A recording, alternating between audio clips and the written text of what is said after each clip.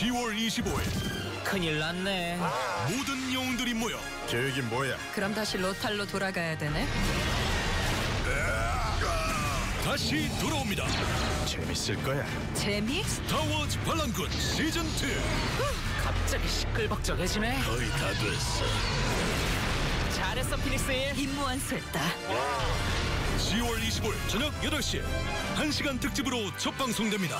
정말 최고의 작전이었어.